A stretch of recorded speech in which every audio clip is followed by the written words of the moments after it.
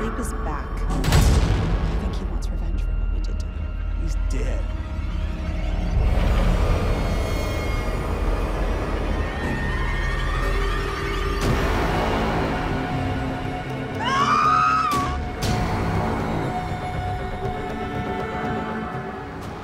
We have to assume that copycat is going to kill everyone on the patient list.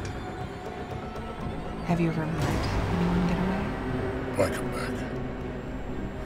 I always come back.